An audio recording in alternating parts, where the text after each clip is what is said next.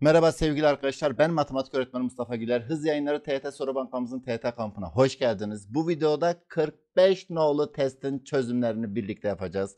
Kanalımıza abone değilseniz abone olarak destek verirseniz mutlu olurum. Bir de videoyu beğenip yorum atarsanız daha da mutlu olurum. Başlayalım mı? Hocam durmam bile hata haydi.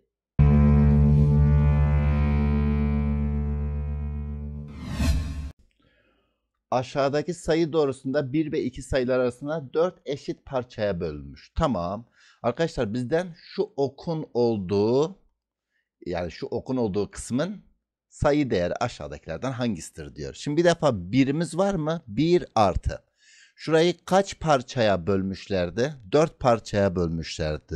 4'te kaçında bu ok? 1 ikisinde bu ok. O zaman 1 artı 2 bölü 4 ya da 1 artı 1 bölü 2.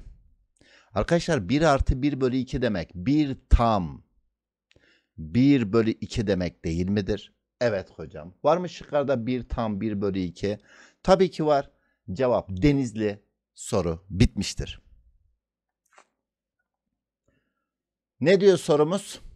Diyor ki şu gösterimlerden hani bir kısmı boyalı bir kısmı boyasız Diyor ki hangisi hangisi modellenen sayılardan birisi değildir. Tamam.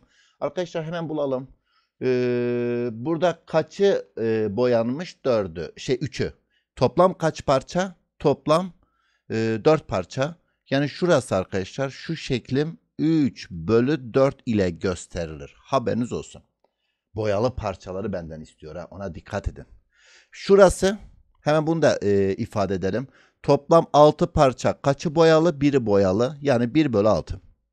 Şu 3'ü toplam 3 parça kaçı boyalı? Hocam ikisi boyalı. 2 bölü 3. Şu 1, 2, 3, 4, 5 kaçı boyalı? Hocam ikisi boyalı. 2 bölü 5. Arkadaşlar 3 bölü 4 var mı? Var. 2 bölü 3 var mı? Var. 2 bölü 5 var mı? Var. 1 bölü 5 yok. 1 bölü 6 var. Cevap tabii ki 1 bölü 5. Arkadaşlar bu bulduklarınız içerisinde 1 bölü 5 denen bir şey var mı? Yok. O zaman cevap denizli. Soru bitmiştir. Ne diyor? Küçükten büyüğe doğru sıralayınız diyor. Arkadaşlar bakın. Ee, eğer işaret varsa ki var eksi hepsi görüyor musunuz? Öncelikle bana şu eksileri görmeyeceksiniz şu x'leri önce bir çizelim. Tamam? X'leri görmüyorsunuz. Sanki hepsi artıymış gibi sıralayalım. Sonra yönünü tersine çeviririz. Tamam? Hadi. Bunların içerisinde en büyük kim? Tabii ki 0.41 yani C en büyük. Sonra 0.36 B gelir. En küçük kim? 0.34 yani A. Ama bunlar hocam pozitif olsaydı bu geçerli. Ama bunlar negatif. O zaman arkadaşlar bunlar negatifse yönler komple tersine döner. Yani en büyük kim? A. Sonra kim gelir? Sonra B. En küçük kim? C. Var mı böyle bir şey şıklarda? Hocam tabii ki var. Cevap Edirne soru bitmiştir. Ne diyor sorumuz? İçinde A gerçel sayısı yazan en kenarlı bu A çarpı n eksi n ile formülize ediliyormuş. Güzel. Örnek vermiş. İçinde ne var? 5. Kaçgen bu? Dörtgen. O zaman 5 çarpı 4 eksi 4. Tamam. İçinde ne var? X. Bu kaçgen? Üçgen. Çarpı 3 eksi 3 eşittir. İçinde ne var? 7 çarpı. Kaçgen? 1, 2, 3, 4, beşgen çarpı 5 eksi 5. Doğru mudur? X değeri kaçtır diyor. Hadi 3x eksi 3 eşittir. 7 kere 5 35. 5 çıktı 30. Eksi 3'ü karşıya attım. 33. 3'e böldüm. X buradan kaç çıkar arkadaşlar? 11 çıkar. Var mı çıkardı 11? Hocam tabii ki var. Cevap Edirne. Soru bitmiştir. 11x artı 2y'yi istiyor. Yani benden z'yi istemiyor. Benim şu z'leri yok etmem lazım. Z'yi de yok etmenin bir tek yolu var. 4'ten çarparım, alt alta toplarım, soru bitmiştir. Şu eksi 4 ise artı 4 z'yi götürdü. 8x 3x daha 11x. Şurası 3y. 2 şey eksi y burada var. Artı 2y. Eşittir. 4'ten çarpmıştık. Üstteki 5 duruyor. Onu yazdım. 4'ten çarptım. Eksi 12. Ee, artı 23. Gençler soru bitti. Zaten benden istenen şeyi buldum. 5'ten 12 çıktı. Eksi 7 artı 23'ten topladık. 16. Var mı şıklarda 16? Hocam tabii ki var. Cevap Adana. Arkadaşlar bakın. Mesela diyelim ki 5,9 ve 9 devrediyor. Şu 9'u silersiniz bir öncekine 1 eklersiniz bunun cevabı 6'dır. Bu sadece 9 devrediyorsa ki bir kuraldır. 9 devrediyorsa 9'u silin bir öncekine 1 ekleyin. Tamam. Mesela 7,9 9 devrediyor. 9'u sil bir öncekine 1 ekle. Bunun cevabı 8'dir. Tamam. O zaman geldik buraya. Şu 9'u sildim. Bir öncekine 1 ekledim. Ne oldu? 4. Artı. Şu 9'u sildim. Bir önceki basamağa 1 ekledim. Yani 1,4. Aa çok güzel. Böyle. Ee, payda işleyelim. Şurayı bir 5'ten genişleteyim mi arkadaşlar? Tabii ki genişletelim. Ne oldu? 5. 13 daha 20 şey 5 13 daha 18 bölü 20. Tamam. Aa. Eşittir. Bu 4 artı bu 14 bölü 10. Yazalım. 4 artı 14 bölü 10. Bölü 18 bölü 20. Hı -hı. Eşittir. Ee, burası kaç oldu arkadaşlar? 40. 14 daha 54 mi oldu? 54 bölü 10. Şunu da ters çevirip çarptım. 20 bölü 18. 18'e 18'e bölünür mü? Hocam 18'e böldüm 1. 18'e böldüm 3. Evet. 3 kere 20 60. 10'a böldüm 6. Var mı şıklarda 6? Hocam tabii ki var. Cevap Adana soru bitmiştir. Nasıl arkadaşlar? Güzel bir soruydu. Çözümünü de bu şekilde yapmış olduk. 0,4 ondalık sayısının aşağıdaki diyagramda her adımda aynı işlem uygulanarak ok yönde ilerleyip en alttaki sayı elde edilmiş. Yani şu elde edilmiş. Daire içindeki yazan sayıların toplamı nedir diyor. Şimdi gençler izleyin beni. Şimdi birinci basamakta burada kaç sıfır? Yani bir basamak gittik ya da şöyle diyeyim. Bir basamak sonra baktım ki 2 sıfır var. 2 basamak sonra baktım 3 sıfır var. 3 basamak sonra 4 sıfır olur. Burada toplam bizim kaç tane sıfırımız var? 1, 2, 3, 4, 5, 6, 7 sıfır varsa o zaman buradaki x de 6'dır. Hani 6 basamakta 7 sıfır olur. Tamam bu. Benden daire içerisindeki sayılar e, toplamını istiyordu. Yani birden 6'ya kadar sayıların toplamı 6 çarpı 7 bölü 2'den o da eşittir. 42 bölü 2'den 21 mi olur arkadaşlar? Var mı şıklarda 21? Bakalım bir var mı? Tabii ki var. Cevap denizdi. Soru bitmiştir. Ne diyor sorumuz? Diyor 16 eş kare varmış. Doğrudur. Aynı renkte olan hücrelerdeki sayıların toplamları birbirine de eşitmiş. E süper. Hadi bakalım. Şurada şu yeşilleri bir toplar mısınız arkadaşlar? Şu yeşillerin toplamı eşittir.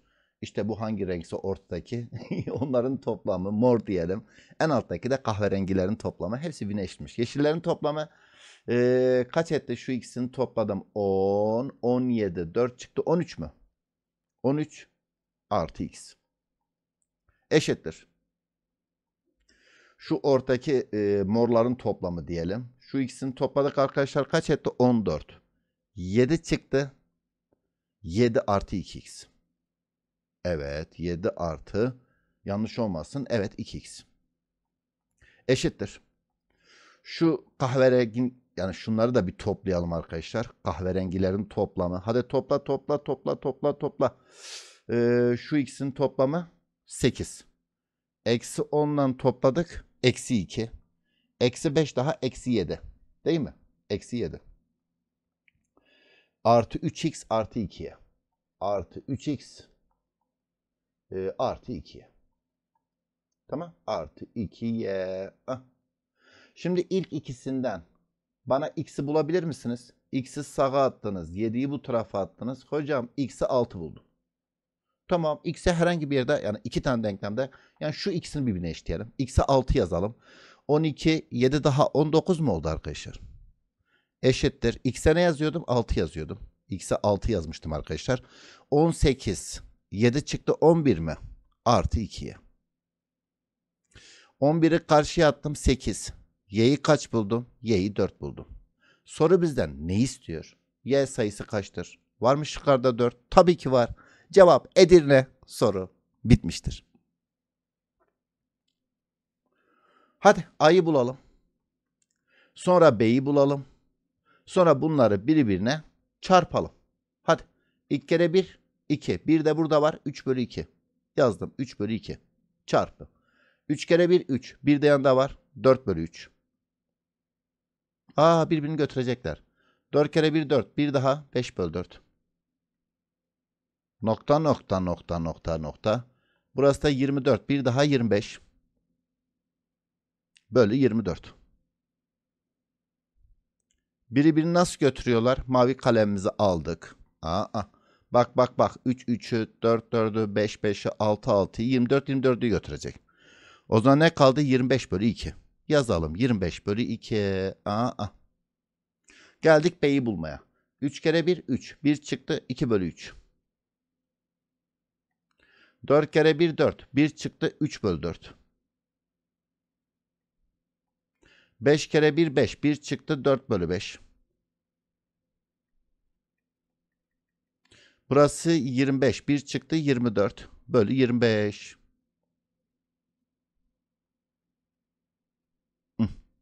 Birbirini götürüyorlar mı? Tabii ki götürüyorlar hocam.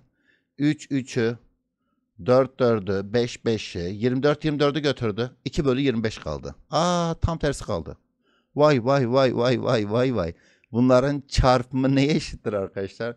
Pay paydayı payda payı hepsi birbirini götürdü. Hocam cevap 1'dir. Denizde soru bitmiştir. Tamam. Bunu arkadaşlar ne diyelim? Dur eşliğin diğer tarafına yazayım. Madem üsttekine A demişler. Biz de buna K diyelim. Ah. K eşittir. Öyle bir şey yapalım ki alt alta topladığımız zaman sonuç tam sayı çıksın. Hocam 3 bölü 7 4 bölü 7. Aa direkt toplayalım. Yani A artı K. Valla direkt topladım sanki çıktı gibi arkadaşlar. Bak 3 bölü 7 4 bölü 7 7 bölü 7 yani 1 artı şu 2 bölü 19 17 bölü 19 topladınız 19 bölü 19 yani 1 artı eksi 1 bölü 17 18 bölü 17 toplayın 17 bölü 17 yani 1 soru bitti. Şu a'yı karşıya atın. K neye eşittir arkadaşlar? 3 eksi a. Var mı şıklarda 3 eksi a? Hocam tabii ki var. Nerede? Cevap Bursa soru bitmiştir. Tamam.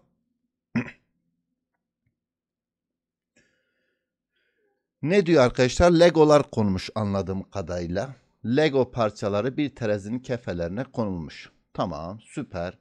Diyor ki şunlar dengedeymiş arkadaşlar görüyorsunuz. Denge ve denge. Tamam. Ben bu yumurtalara yani yuvarlak olanlara x diyeyim. Şunlar x, x, x olsun. Şu üçgenler y'ye y olsun. Üçgenler y, y, y, y olsun. Şu dörtgenler de z'ye z olsun. z'ye z. Tamam. Madem bunlar dengede yani 3x eşittir 2'ye.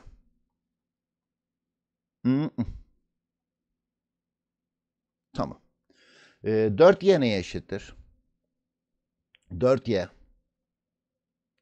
eşittir 2z. 2z. Şimdi gençler izleyin beni. Uhuhuhuhuhuhuhu. Tamam. Şuraya arkadaşlar dur dur dur dur dur. Sadeleştirmelerimizi de yapalım hele. 2'ye böldüm, 2'ye böldüm. Burada ne kaldı arkadaşlar? 2 mi kaldı? Yani z eşittir 2'ye. Üsttekinde hepsine 6k desem bir sorun olur mu? Yani 3x 6k'dan x neye eşit olur? 3k'ya. 2y 6k'dan pardon 3x 6k'dan x 2k. x'i 2k bulduk. Tamam. Ah. 2k. Ee, 2y 6k'dan y 3k. y'ye 3k dersem z ne olur? 6k. Tamam. A bitti. Madem x, y, z'nin hepsini aynı şekilde bulduk. Şu ee, dikdörtgen şey dörtgen z değil miydi? E, z 6k'ydı. Demek ki şurası 6k. Yuvarlak x'ti. X'imiz neydi? 2k. Toplam burası kaç k oldu? 8k. O zaman buraya da 8k mı olması lazım dengede olabilmesi için? 8k'yı veren hangi şıksa cevap odur. Adana'dan başlayalım. Ee, üçgenimiz y'ydi. Yani 3k. Şurası 3k. Şurası 3k. Dairemiz x'ti. O da 2k. Aa topladım 8k. Tamam. Var mı şıklarda Adana? Tabii ki var. Bitti. Direkt hemen Adana'yı denedim. Adana olmasaydı Bursa'yı deneyecektim. Bursa olmasaydı Ceyhan deneyecektim. Olay anlaşıldı mı? Hadi hocam Ceyhan da deneyelim. Üçgenimiz neydi? Y. Y neydi? 3K. Şurası 3K. Şurası 3K. Dairemiz neydi? X'ti. Yani 2K. Yani toplamı 4K işte. O ama ne 2K 2K yazıyorum işte 4K. Toplayın 10K. E hani 8K'yı vermedi. Bu şekilde bütün şıklarda deneyebilirdiniz. Olay anlaşıldı mı? Mantık bu, olay bu. Buyurun. Soru ne diyor? Şimdi arkadaşlar bu tarz sorularda böyle saçma sapan paydayı eşlemeyeceğin sorularda ben diyorum ki genelde böyle oluyor. Ya üst taraf alt tarafa eşittir. Yani şuraya A desem. Şuraya B desem. Ya A eşittir B çıkıyor. Bunu unutmayın. Ya da A eşittir eksi B çıkıyor. Genelde bu tip sorularda bunlar çıkar. Hadi önce A eşittir B gerçekten çıkıyor mu çıkmıyor mu bunu birlikte böyle bir deneyelim. O zaman ben bu B'yi bu tarafa atarsam A eksi B'nin ne olması lazım? Sıfır olması lazım. Tamam. Hocam bu olmazsa tamam en son hamlem A eşittir eksi B diyeceksiniz. Tamam. Şu eksi b'yi sol tarafa atınca a artı b eşittir ne olacak arkadaşlar? Sıfıra eşit olacak. Bitti. Yani ya a eksi b sıfırdır ya da a artı b sıfırdır. Hocam bu çıkmadı diyelim. a eksi b sıfır çıkmadı. O zaman a artı b. X'in toplayın. Sıfırı veriyor mu vermiyor mu ona bakacaksınız. Bu kadar basit. E hadi. Önce ilkini deneyelim. a eksi b sıfır mı? Hadi a dediği şu oluyor. Yani şundan şunu çıkaracaksınız. E çıkaralım hocam. Üst tarafta ne var? 5 artı 201 bölü 101 artı 570 bölü 113 eksi a eksi b'yi biz arıyoruz ya arkadaşlar. Yani eksi aradaki eksi olacak. Eksiyle çarpalım. Eksi 12 artı 1 bölü 101 eksi 5 bölü 113. Bakalım bunun değeri acaba 113 diyorum 111 yazıyorum ya. 113. Tamam. Heh. Acaba değeri 0 çıkacak mı? Merak ettim. Hadi 5'ten 12 çıktı. Eksi 7. Ee, şu bölü 101'leri kendi arasında toplayalım arkadaşlar? 201 artı 1 daha 202 bölü 101 2'dir. Bir de şunları kendi arasında bir toplayalım. Ah. 570'ten 5 çıktı. 565. 565'i 113'e bölün 5. Aa. Vallahi toplamı 0 çıktı. Aa. Gerçekten 0 çıktı. O zaman 0 çıktıysa demek ki A eşittir B'ymiş. O zaman A eşittir B ise bunların oranları neye eşittir arkadaşlar? 1'e eşittir. Soru bitmiştir. Var mı şıklarda 1? Tabii ki var. Cevap Adana. Tamam. Bu kadar.